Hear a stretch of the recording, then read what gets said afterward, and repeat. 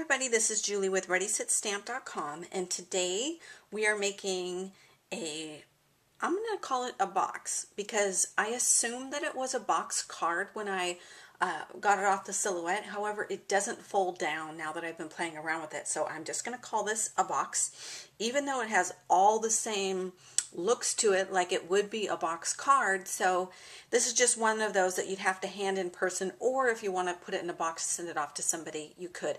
It's more along the lines of kind of like an explosion box. So anyway, just keep that in mind. So um, the stamp set that I'm using here is so adorable. So I'm using this from CardzTV, and it says, You are in my thoughts and prayers. And I think this one is called Thankful no, I'm going to have to find out what the name of this was and I'll put it on the screen because I really don't know the name of it, honestly. Okay, so let's get started in assembling this box. I'm using some of my Scotch adhesive. So this is going to go together, like I said, more along the lines of an explosion box than a regular box. So I'm just going to glue this right here and put this here. You kind of have to hold it in place a little. So I'm just going to kind of press down on here. This glue does dry pretty quickly, but you do have to hold it in place for a little bit for it to adhere a bit. Now I'm going to move on to this side. Same thing here.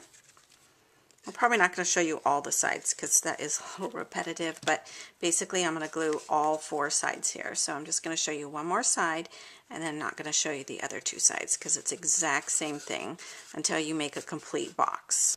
Okay, so I have all four sides glued, and this one says, You are in my thoughts and prayers. So this is going to be the front of my box.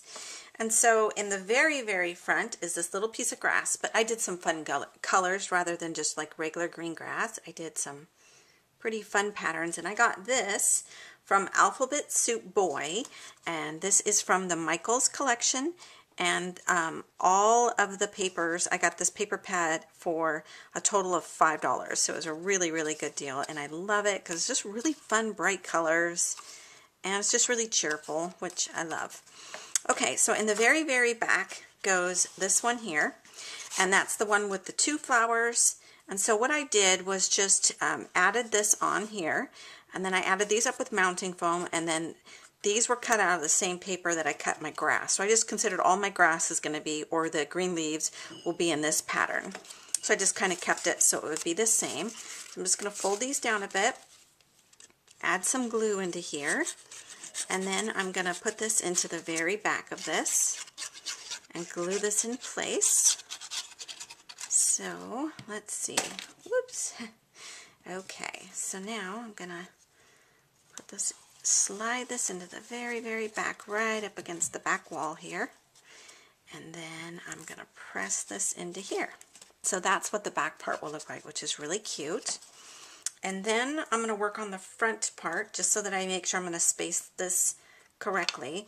And you know what? I just realized I glued this on the side here and it's supposed to go on the back here. Uh, okay. You know what would be easier? it would be easier, I think, if I moved this. I'm thinking it would be easier if I tried to move these. Or I might even glue another piece right over the top of it. I think I'm going to glue a piece right over the top of it. I think that'd be the easiest thing to do. Because I really messed that up and I didn't pay attention to that. Shoot. And I have my grass over here. Oh my goodness, I really made a mess of this box. Ugh. That's such a bummer. All right, you know what I'm going to do? I'm going to cut a piece and finish it off in there so that looks nice. But I'm going to go ahead and move over and just add glue to this. And I'm just going to pretend like this is the front of it and just try to carry on and make this work on this side since I messed that up. The quickest fix I think is going to be to just cut another one of these strips in the same color paper and put it right over the top and add my stamp here and um, I'm just going to fix it up so you'll never know the difference here. Like I said, I'll, I'll cut a piece of um, cardstock paper and just line that in there so you will not ever see that. So anyway, maybe that's a good lesson on how to fix your boo-boos. So I'm just going to try to, I see a little extra piece of glue popping out of here, so I'm just trying to push that with my finger to soak up the extra glue. So this is the middle, this is the front part. So I'm going to try to bend that down here. add some glue to this. We'll put this in the front. There we go. Okay, and now this is going to go in the very front, keeping in mind that this is the front, not the other side like I did. Oh my goodness, I really can't believe that I did that, but lesson learned. What are you going to do, right? All right, so now I'm just going to try to hold this in place here.